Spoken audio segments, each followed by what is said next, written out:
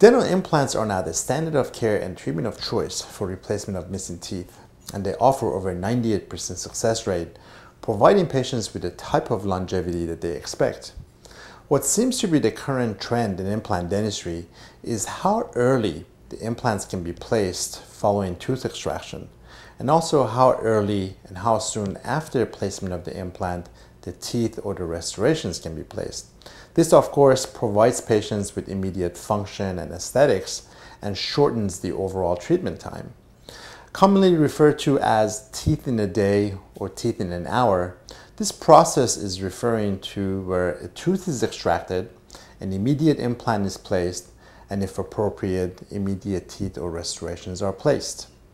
Hence, the teeth in a day or teeth in an hour. Let's just first define the two terms. Immediate implants refers to a situation where a tooth is extracted and an immediate implant is placed on the same day. An immediate restoration is where an implant is placed and the teeth, whether it be a crown, a bridge, or a denture, are placed on the implants all on the same day. But we have to ask the following questions. When is it truly possible to do immediate implants? Is this option for everyone? And when is it appropriate to do immediate restorations or teeth? What is commonly not talked about in the media is the fact that these techniques and approaches are successful only in a selected group of patients, and perhaps they are the exception rather than the rule. In this two-part video, we're going to discuss when immediate implants and immediate restorations may be considered and when they should be avoided.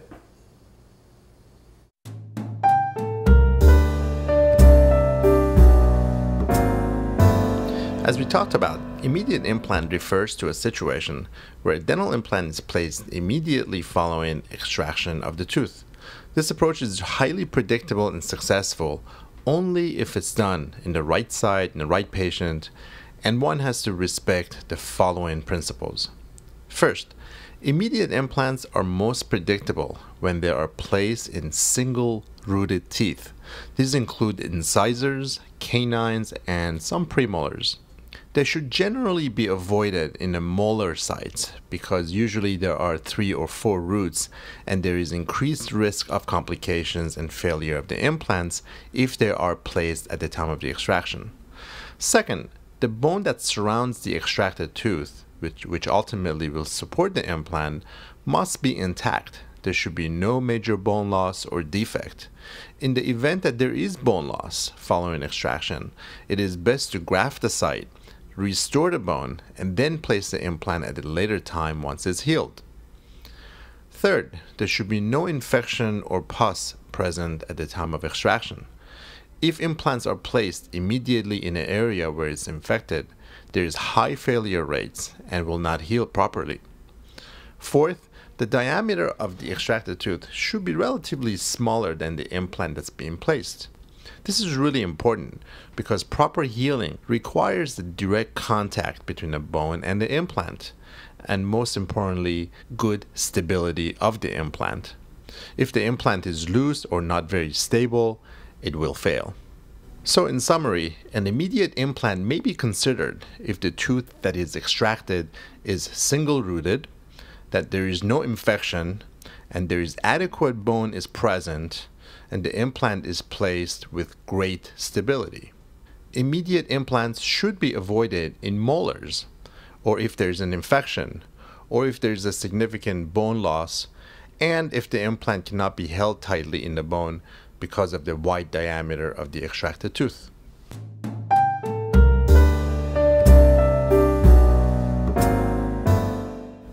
Now let's talk about immediate teeth or immediate restorations. Immediate restorations refers to when an implant has been placed, and a temporary restoration in form of a crown, a bridge, or a denture is placed on the same day. Obviously, the advantage is that a patient has their teeth right away, supported by implants, providing them with good aesthetics and perhaps function, and uh, preventing the use of other forms of temporary teeth, such as removable flippers. But it's important to realize that immediate teeth or restorations, while they're successful, should only be considered in certain situations. Otherwise, they will result in implant failure and loss.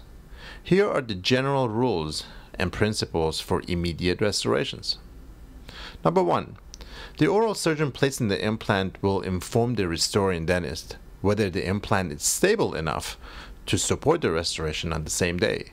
If it is not appropriate, then the implant should be allowed to heal first and then place the restoration at a later time.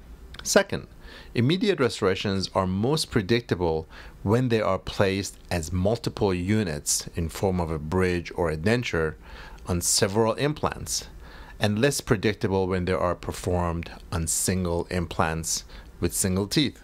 Third, in case of a single implant, the temporary crown should be placed with caution, and if possible, it should be bonded to the adjacent teeth for additional support. The real key is to avoid excessive forces on the implant during its healing, which can result in failure. Number four, the implant must be very stable in the bone. If the bone is soft or implants are not very stable, then placement of an immediate restoration can cause them to fail. 5. The immediate restoration is for the most part for cosmetic purposes. Patients must adhere to a very soft diet during the healing process and avoid excessive forces on them. The restorations should clear the bite so that they do not touch the opposing teeth when the patient bites down. And lastly, once the immediate temporary restoration is placed, it should be left alone during the entire healing phase. This could be from 3 to 6 months. Any manipulation during the early phases of the healing will result in failure and loss of implants. When appropriate, the temporary restorations may be adjusted to help shape the gum tissue surrounding it for improved aesthetic and functional results. So, in summary, immediate restorations or teeth in a day can be considered if the implant is very stable and if there are multiple implants being splinted together during a healing phase. Also, it's important to avoid pressure during the healing process and allow adequate time before manipulating it.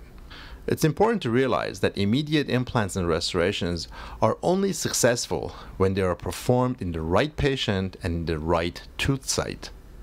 Proper diagnosis and communication by the surgeon and the restoring dentist is crucial in the success. And when in doubt, it's always best to slow down and stage the procedures in what I call one miracle at a time. While it might take a few more months to complete, the success and the longevity of the results is well worth it. Oral Surgery Current is recorded and produced by Dr. H. Ryan Kazemi at the Center for Oral and Facial Enhancement in Bethesda, Maryland. For more information, please check our website at www.facialart.com.